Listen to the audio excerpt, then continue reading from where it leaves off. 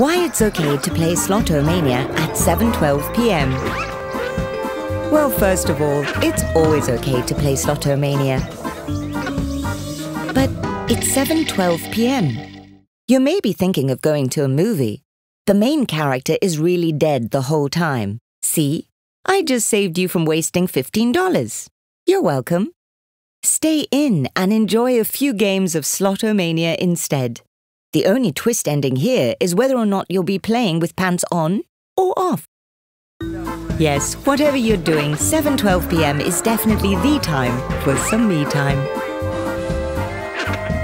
So download Slotomania now and start playing. Slotomania. It's okay to play.